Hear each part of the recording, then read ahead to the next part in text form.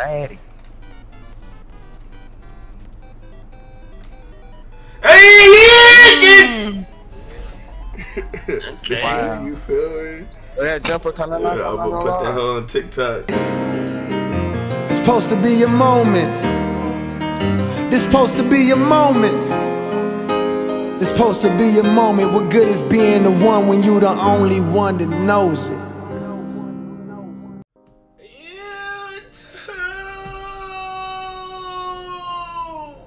Amen. It's the ISO God Sensei, the greatest 2K player in existence.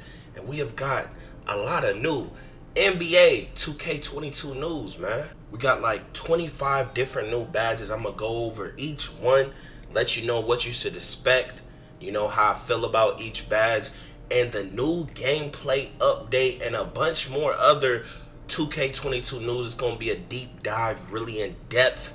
So make sure you watch this full video. Make sure you subscribe. If you are new, help me hit 300k. You know, yeah.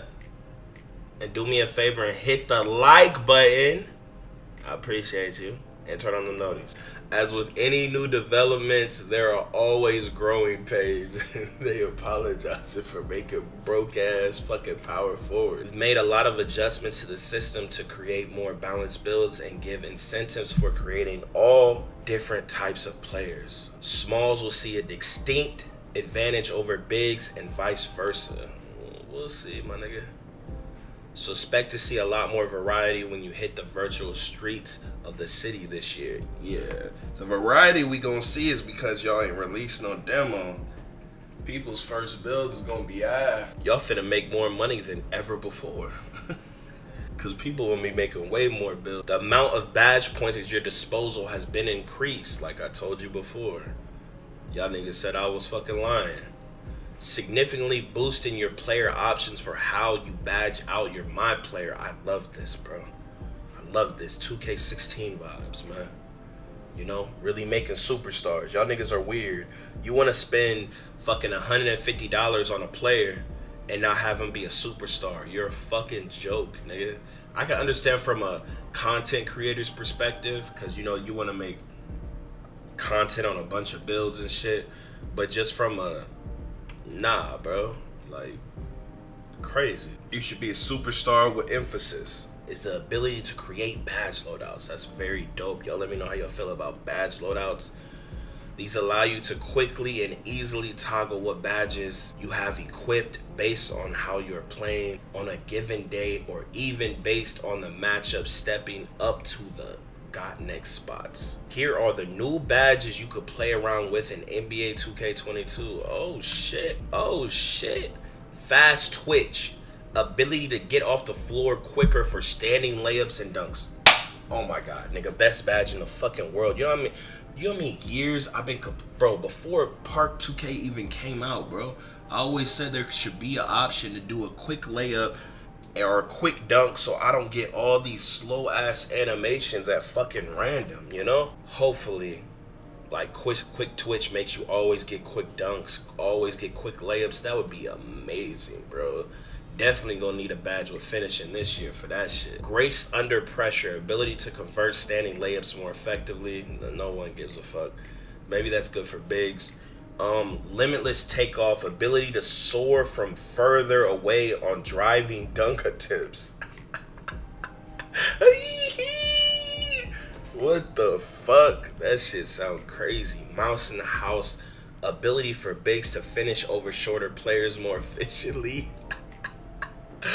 oh, I love it. I love it. I love it. Make the big bitches spend badge points to finish over little niggas. Good. Little abusive ass niggas unstrippable, ability to secure the ball better when gathering for a layup slash dunk in traffic. Mm. So so it's so they're giving us extra badge points because we probably don't need these hoes because probably how it's built, it's probably hella easy to get steals and shit. You know, this might be the a year that you really want to make a well-rounded build. Like a lot of people be doing like zero this, zero that, but it's looking like you might need this shit. Chef, ability to knock down Steph like off dribble threes. Damn, they even put his name in this bitch. Chef should be fucking Harden. Don't show disrespect. Harden's better than Steph Curry. Limitless spot up. Ability to hit logo range threes off a catch and shoot.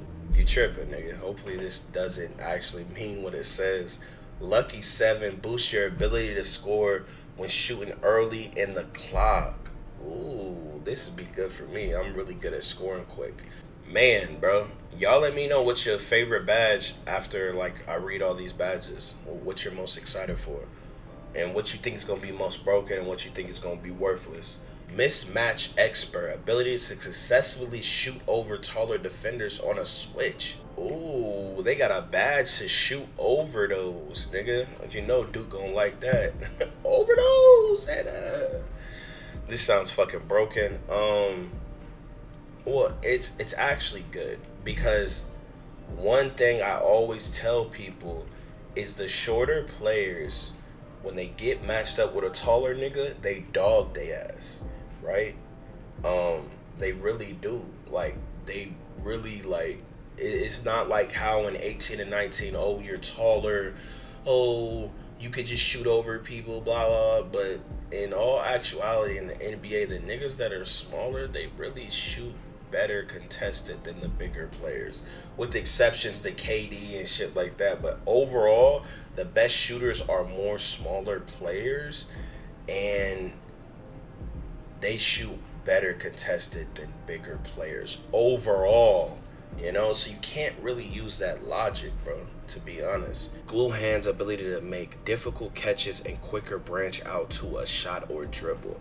Hyperdrive boost the speed and effectiveness of moving dribble moves. Oh, this, this shit, what? I thought this was gonna be some crazy shit, bro. Boost the ability to quickly chain dribble moves together. We guessed that right. Post playmaker, boost the effectiveness of both shots and moves when playing in the post. What? But this was playmaking. Triple threat juke increases the effectiveness of a triple threat fakes jabs, and goal moves. Ball stripper. Pause. Ability to strip, layup, and dunk attempts more effectively. Ooh, we definitely running those. Hopefully this whole work. Hustler. Ability to get those scrappy 50-50 balls quicker than opponents. Bro, this was in 14. I remember this shit. Uh, I remember this shit. This brings back memories, bro. They they definitely use this scrappy shit and this 50-50 shit menace significantly drops the offensive rating of opponents when you smother them. That brings our total badge count to 80 with the number of existing badges also getting some nice upgrades. Okay, man.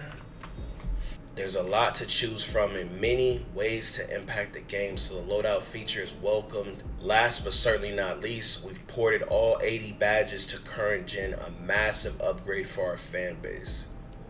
Okay. One final My Player upgrade I wanted to call out is a new gen exclusive called Takeover Perks. These are modifiers that you can unlock and equip to strengthen your existing takeover abilities. God damn. I'm not going to list them out because we want them to be a surprise, but it's a great upgrade to the takeover system that adds a layer of depth and strategy to how you compete online. So they say the first year developing on new consoles always brings new challenges. you can't fix the paint. Such as major code rewrites, new technical hurdles, and systems getting rebuilt. It sound good. Next year should have been way better, my boy. But with all that behind us, the gameplay team was laser focused on one goal with NBA 2K22 making a great gameplay experience. I hope so. Let me know if you just want the gameplay to be good, man. We had an ambitious feature list that we wanted to tackle this year. Faster paced gameplay. I hope so. Faster paced gameplay. Niggas is getting exposed on God. Speed gap, skill gap. You remember me? I've been saying it for years. Tighter and more responsive movement. Oh, oh, that sounds so good more skill based offense, and big changes to the player builder, all of which we're going to tackle in today's blog. And basically, the rest of what they say is that they really tried to do quality on both the gens of the 2K. You know, current gen and last gen. It's not current gen and new gen. I wish y'all would, you know.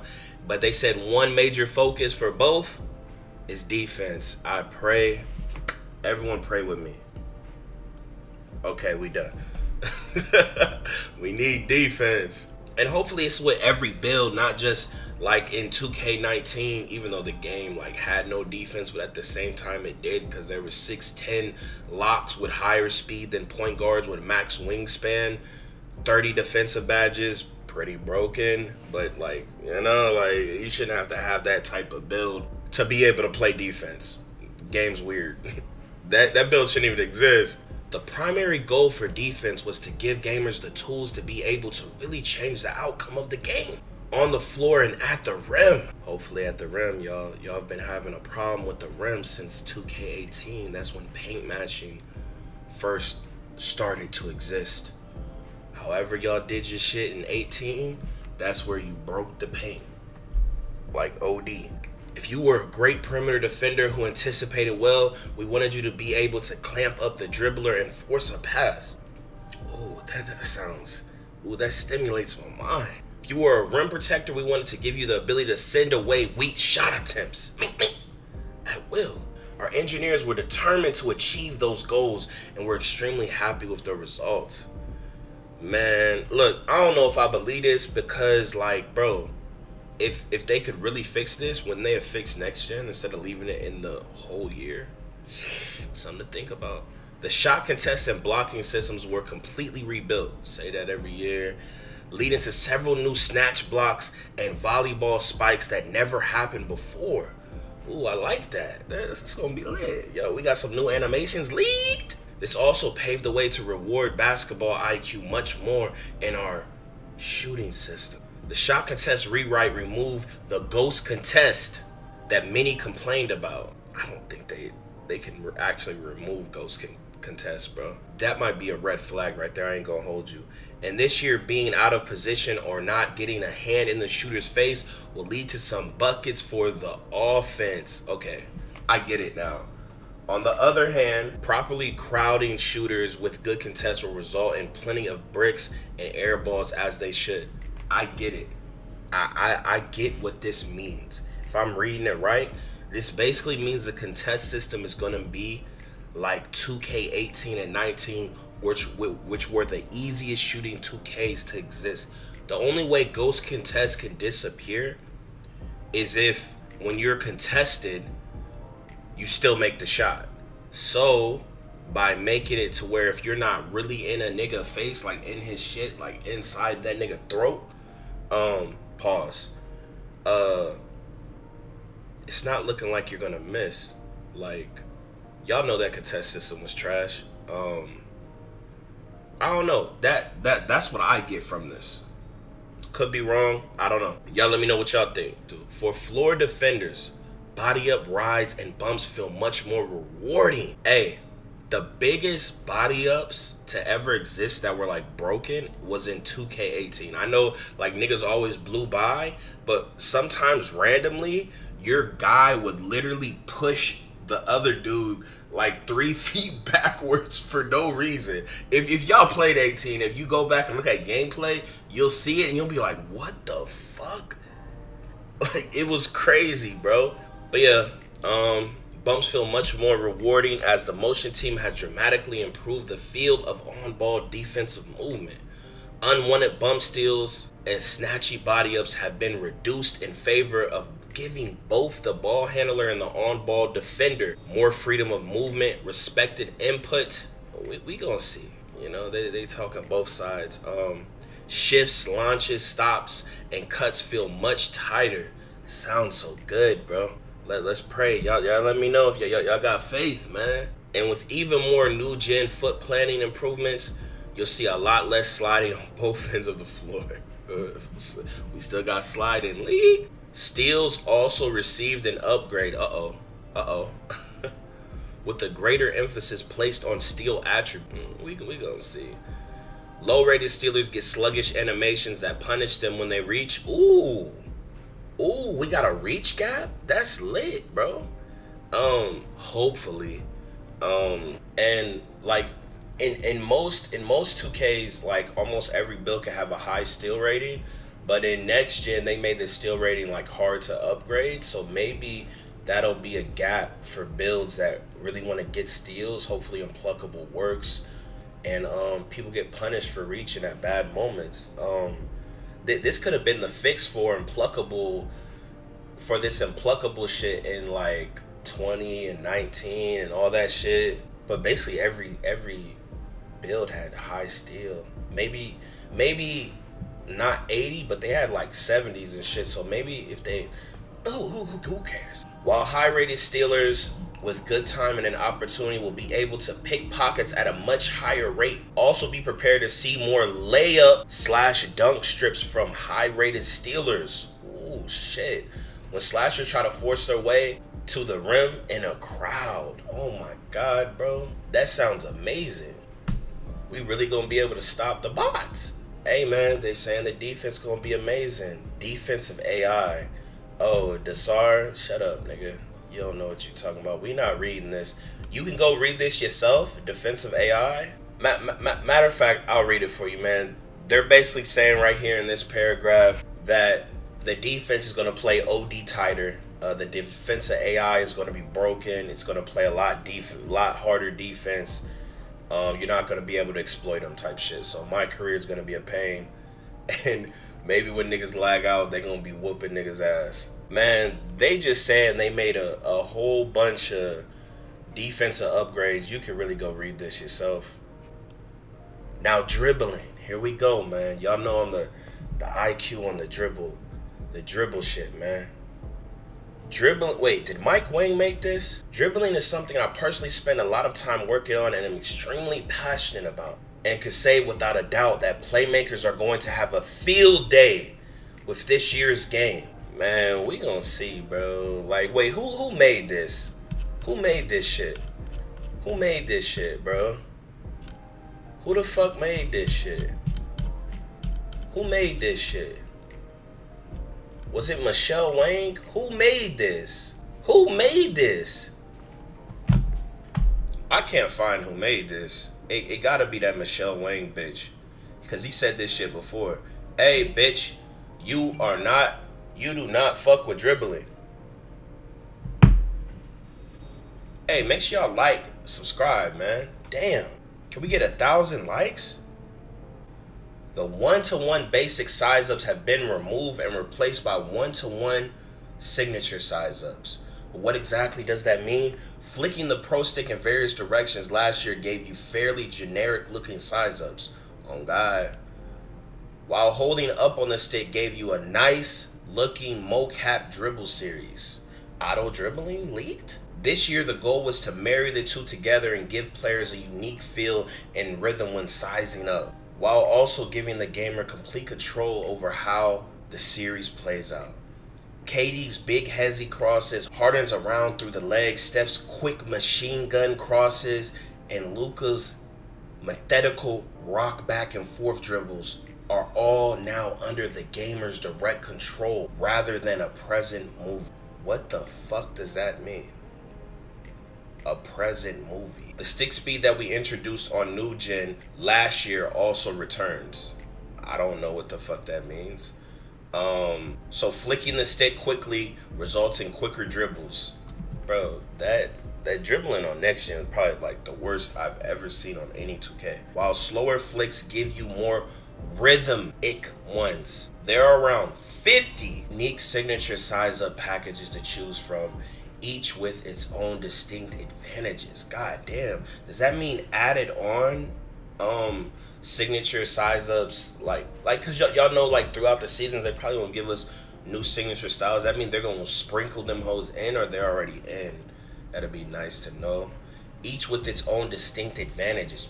We going we to see. They saying each one is fucking worthy and you know there ain't to be a meta hopefully, man hopefully they actually useful, bro. Cause they, they be adding in a bunch of lame ass shit. Hey, this year, man, I'm gonna try to be a dribble guy. You know, it'll be my first time ever trying. You know, so you, tutorials coming soon. Or just drop. I'm just gonna drop niggas off. Fuck a tutorial. No, I'm, I'm joking. I got y'all niggas. Make sure to give them all a try to find out which one best suits the rhythm of how you like to play. Additionally, you can equip 32 unique dribble dribble sequences. Okay, man. Y'all know I always got the, the cheesiest dribbles anyways, you know. Quick kills, quick kill swan. I'm the one that discovered all the, the most OP shit in 15, 16, 14, and 17 before anyone. So y'all gonna make sure you wanna be subscribed with post notice, my boy. Calls these 32 unique dribble sequences signature combos. These are quick three or four second dribble combos that you could trigger by simply holding the sprint and flicking the pro stick up. Okay? Mixing the signature size ups and signature combos together gives you a limitless variety for how you want to break down your defender. Auto dribbling leaked? Tesla dribbling 2K players? There are a ton of other new combos, cancels, and move chains you can pull off this year. Ooh, cancels. I like that. You know, they actually add that in the. You know, ho- hopefully, man, they've heard us and they gonna really just let the dribble system go fucking bananas because that'll bring a lot of viewership to the game to be honest, people like crazy shit, bro. Just let the people shouldn't be able to dribble crazier in real life than in a fucking video game. I ain't gonna hold you. But I'm not going into detail on each of these right now to save you from reading a novel on dribbling. In a nutshell, quickly sending you multiple pro stick commands. Man, they they saying you you you spam you you you you you flick. They say you do all this shit, you gonna break down the best defenders. Okay. Y'all let me know if y'all believe that, man. Look, what they should tell us instead is they should tell us which 2K the dribbling feels like. You know? And like be like, yeah, man, everything you seen in 15, 16, all that type of dribble movement, it's back, but we added our own twist. So we really like, you know, could really pinpoint it, bro, not just feel like lied to. when it comes to dribble movement, you'll notice a significantly faster overall pace, and much tighter control over how you navigate the court. Each of the 28 unique dribble styles received a nice refresh with new content that accentuates the signature style of its given player, bro. Did y'all read that?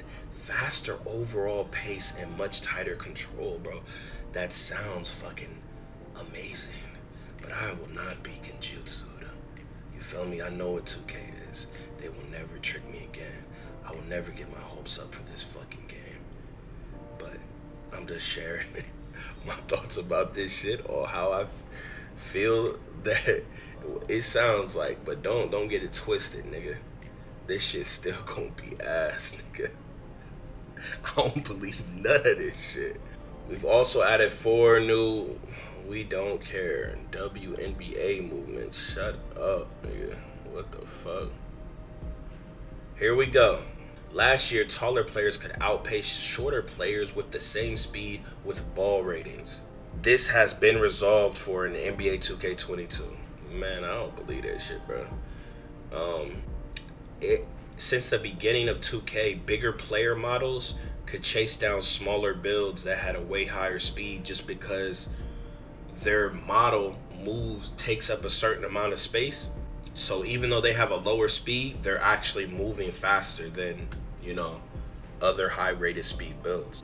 Hopefully this is but um it says um to ensure that smaller players are no longer lagging behind.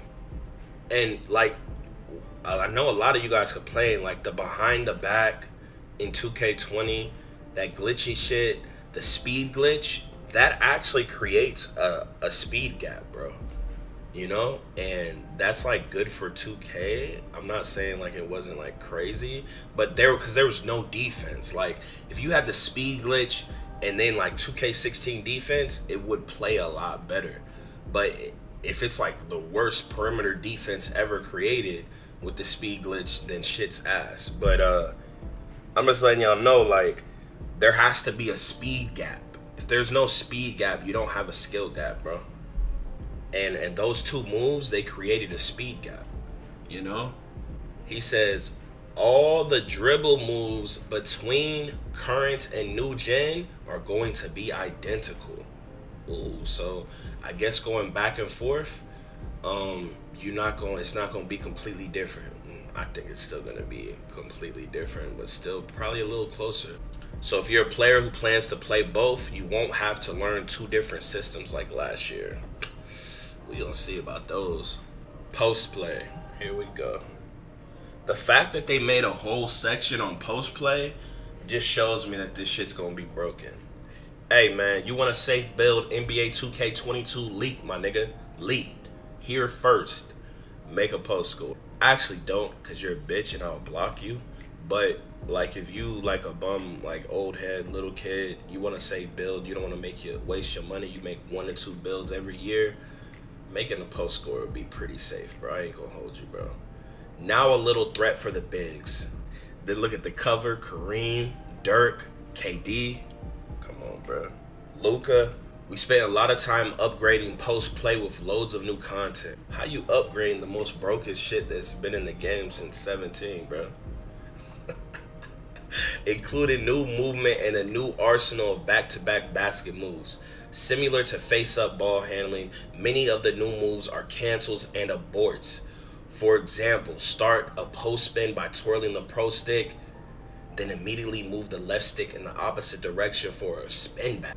There are also new R2 fakes that keep you engaged in the post, allowing you to chain multiple fakes together without disengaging. You can also take advantage of the new disengage face up moves controls to help you avoid steals, new hop shots, fades, hooks, and better pool chair mechanics. There's a lot of great combination of fakes you master. Look, look, look, look. I would I would make a post score if shit was like balanced. Like if I was to make a a center, it would be a post score because he's it's it's it's basically the you know the ISO, the ball handling the skill of bigs, but it's so broken that you just do a post hook and you're a little kid that like sucks. Like you could just beat people way better than you. You know, it's it's just like a broken mechanic. I wish it would just like take skill and contest really matter and shit like that, and it'd be cool. But these niggas don't get it. Zach Timmerman, you're fucking stupid, bro. I don't know what you're doing with your job, bro. The niggas are broken okay? Um, it ruins the fun of the game. Like, when something's so broken that it ruins the fun of the game, you might want to ease it back, my boy. You know, there are no post scores in today's game really out there dominating, bro. So you really need to, like, get it together, bro. Like, all this, this is, is, is too much, my nigga. I ain't gonna hold you, bro. Shooting has undergone many changes for NBA 2K22. There's a new shot meter with a dynamically resizing. This window will expand when you're taking high quality shots with good shooters, but will shrink when heavily contested, shooting with a low rated shooter or fatigued. Um, I wish they would take out the no shot meter boost because then people would use the shot meter again and it'd be cool, you know? It's too easy to shoot with no shot meter. The major emphasis for shooting success this year is shot IQ. They're saying the teams that look for open looks are going to have much more success. That that that sounds amazing. I don't know. It's kind of contradictory to what I read earlier. It sounds elementary, but it's something we really keyed on this year as taking quality shots was more or less overshadowed by ratings and stick skill. Thank you, bro. If people can't get open, punish them. The people who get open the most are the best. Not the people that can just time their shit. It's not hard. Shot timing still plays a major role in the skill gap, and yes, you still get an additional boost for turning the meter off, but will only take you so far if you're taking bad shots. We've heavily focused, group tested, and the new shooting mechanics with players of all skill levels, and believe this is the best that shooting has ever felt in an NBA 2K. Uh, I don't know about those. God damn. Man, this shit long as fuck, nigga. Hey man, if y'all still watching, man, hit the like button. Subscribe, turn on noties. Finishing. We also made a strong push to get more of a skill gap into finishing at the rim. As beautiful as our motion capture dunks are, it was a shame that once you saw one fire off, you basically knew it was automatically two points. Yeah, your shit was broken. With the revamped blocking system, we're now giving rim protectors more tools to make great stops at the rim. I hope so. On top of that, on new gen, we've added added timing meters to both alley oop and aggressive skill dunk attempts. hey man, hopefully alley oops are fucking nerfed. Um, hopefully dunks is cool. You know, hopefully we still get a lot of contact dunks, but it's just not OP, you know? When an alley pass is in the air, you'll need to press the shot button at the right time to finish the ooh. Yeah, y'all think this y'all think uh it's gonna be accurate or no? If you're too early or too late, you'll either smoke the finish or miss the catch completely. Mmm. Alley oops take skill now? Side note, you can force a bounce pass alley this year. Bro, I, I think with one of these things, bro, I'm thinking with maybe the alley oops, they might have to like patch this throughout the year because no one will be able to catch alley oops, which will be good because that's been the rep method since 17, bro. And that's all niggas play. They just throw alley oops to try to rep up high. Shit's dumb as hell instead of just playing basketball. Then they said on the dunker side, holding sprint and pulling straight down on the pro stick will trigger the aggressive skill dunks, just like every year. When you have a defender standing underneath the rim, using the aggressive skill dunk feature will let you basically force a dunk attempt on demand. What? As long as you have a strong dunker and you have a bit of a runway. Bro, what? You know how long bro if if i'm reading this correctly if you can automatically always go for a dunk like always like instead of getting a stupid layup animation like you can automatically always go for a dunk that would bring me so much joy bro. Because so many times when i'm trying to dunk the ball i fucking go for a layup because the shit's just broken right? But if i can automatically go for a dunk that'd be so amazing to me, bro. I know a lot of y'all could probably agree with me, bro, but hopefully it's just not broken, you know? Like I got slasher take. I'm tired of going for layups. Let me attempt a fucking dunk, bro. Then he says it's tough to hit the perfect timing for these high risk, high reward plays, but it's so gratifying when you can pull it off. That's good, bro. It sounds good. We've also added dunk celebrations into the game this year that work very similarly to the green release jump the green release jump shot landing celebrations. So not only can you throw down some nasty dunks in traffic with the new feature, you can also equip your signature dance to show off a little bit afterwards, okay? I mean, they still they had the celebrations for the twos and the threes, and you know we still like kind of already had them. But um, I guess this will be more automatic. Hopefully they're not too long, and hopefully you can like break out of them. So like, you know they don't run the break and shit like that. In NBA 2K22, you'll now have the ability to completely customize your dunk repertoire with an all new dunk style creator. We now have a dunk style creator. This is a great feature that allows you to have detailed control over the exact style of your dunk packages and lets you equip more dunks on your player than ever. Man, this shit is sounding broken. All this shit sound good, bro. It, it, it really do, bro, but I can't be Genjutsu, man. Y'all let me know how it sounds to y'all. Let me know what, what you rate. this nigga, if this Mike Wang, he says this gameplay blog barely scraps the surface. What? Oh shit, they had the game tested? In fact, we had the wonderful opportunity to bring in several respected community members and 2K pros to beta test gameplay a few weeks ago. Their feedback was incredibly valued to us and allowed us to put the finishing touches on gameplay to ensure the best possible launch experience. They finally listened and got niggas to test their games. Hopefully it went right. Uh, I don't care about no respected members. Them niggas is, you know, but 2K pros, they actually know some shit. I don't know. Y'all let me know how y'all feel about it, man. Make sure you subscribe if you new. Hit the fucking like button if you hear my voice right now. Go to the gym eight days a week, drink a gallon of water a day, and turn on post notice, my boy. But hey, hey, here we go again. Yeah. Here we go again. People talking this, but when this hit the fan, everything I'm at made me. Now break it down. Yo, off the top of the dome, dome.